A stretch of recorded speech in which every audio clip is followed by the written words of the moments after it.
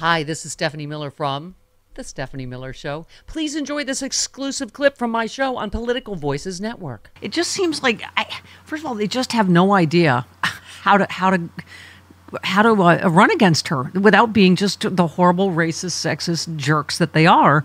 But uh, you know, even the, they thought the border issue was their big issue. And as you uh, you retweeted Lindsey in a stunning moment, Lindsey Graham blames Donald Trump for the border security legislation not passing, and you just said, "Uh oh, Trump's lapdog is going to be in the doghouse tonight." Yep. When they did that, I was like, oh, maybe really he's flip. Well, he goes, he's a fair weather friend. So he's going to go to whichever side's going to help keep him out of all of his secrets coming to the surface. Um, but yeah, for Re- him to do that, I'm sure he's in so much trouble. Republican James Lankford, whose bill it was, when President Biden said this in the State of the Union, he shook his head, yes. yes, Trump's the one that stopped this. This black journalist convention, it's the same just mix of racism and misogyny that you're like, oh my God. Watching that wasn't even like a car crash. It was a Thelma and Louise right off. No survivors. Oh my God, what is happening? I, I just am shocked they let it go as long as they did. and he gave Kamala Harris's campaign millions of dollars of free ads in a 30 minute interview. So you Somebody- know what? Thank you. Somebody said it was like watching a baby crawl across the highway.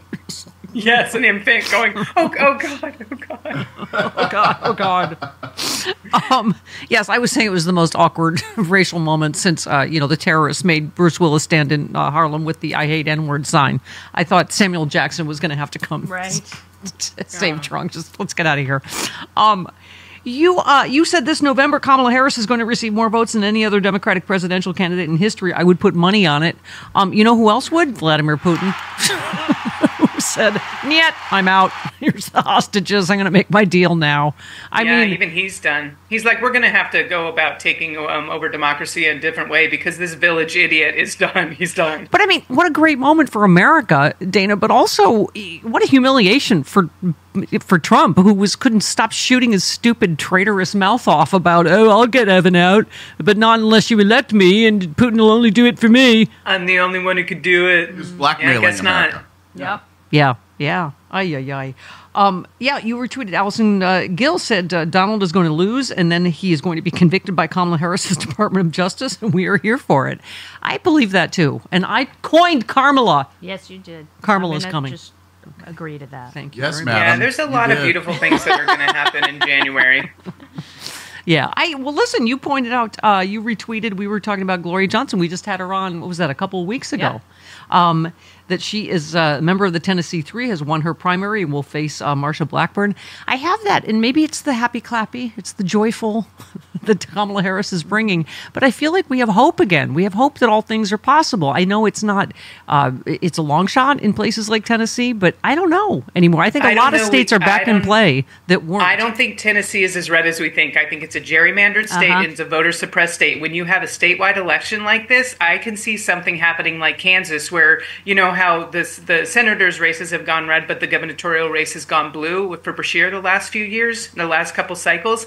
I can really see people walking in, and even if they vote for Trump. Tired of Marsha Blackburn Yep. Yeah. and wanting her out. I can actually see her losing her election and us not getting Tennessee. But if enough people get out and vote, we could actually see Tennessee turn purple. I, I really think yeah. we could. Yeah, I think a lot of things are, are in play that we you know we that we had not thought of previously. Um, date and kiss and marry this Harris campaign. Yes. They're just killing it. They're killing it. You know, our friend in Chicago, Richard Chu, was telling me last week, and I didn't get a chance to say it on air. There's a lot of black people in Chicago that are funneling money down to their family members in the southern states, Tennessee, Alabama, Mississippi, Yeah. to get them out and registered to vote, and so that they can understand how important this is. There's a wave of support coming from the Midwest and Chicago down to the southern states and the black community that's actually helping galvanize them to get out and vote in this election. It's a beautiful thing. Yeah, and I gotta say, Dana, the, the hits just keep coming. Just three headlines: Harris is endorsed by border mayors in swing state Arizona as she faces GOP criticism on uh, immigration. I mean, this whole border czar thing—they're the one that called her that. Nobody ever called her the border. You know, it's just uh, GOP Arizona mayor warns Trump will refuse to leave office if he wins a second uh, a second term. The Republican mayor of Mesa, Arizona, warned he doesn't Yep. believe Trump will leave office. Uh, he said um, uh, uh, he, he, uh, the, his comments to Christian supporters that if he wins the presidency, they would never need to vote again. So he he's been speaking out about about that. The Republican mayor of a major Arizona city pens scorching op-ed uh, endorsing Kamala Harris. This is Mayor That uh, letter is John Giles. by the way. Oh, Yeah. Right? Yeah. Yeah. Yeah. Yeah. Yeah. Right? Yeah. He said he made the case for Harris uh, for over his own party's nominee. Uh, he invoked the memory of John McCain and his motto "Country First. Um, he said, "I call on other Arizona Republicans to join me in choosing country over party this election and to vote against Trump." Um, latest polls I've seen have Gallego up over Yeah. Kari Lake. And You Mesa know, is the conservative chunk of, of the Yeah. valley where Phoenix is. Oh, yeah. Yeah. So, Yeah. Right, so but it's also one of the. It's I think it's the 36th biggest city in the nation. Is It what is. I read in his It's- letter, and he was saying that like this is it, infrastructure. We Yes. got money from the Biden Yep. Harris administration to fix our roads. We have protection at the border. Yep. We have this from the Harris administration. She has actually done what she said she was going to do. Yep. It is a beautiful letter, and I'm Yeah. so glad people are finally Yeah. starting to speak out because people listen to their elected officials when they respect them. They truly do. Yep. Mesa is the largest suburb in the United States. Oh, thank Yes. you for that Arizona fun It's- fact. Former Arizona Yeah. Arizona resident uh, Chris LeBour. 500,000 There you people. have it. And it's a suburb.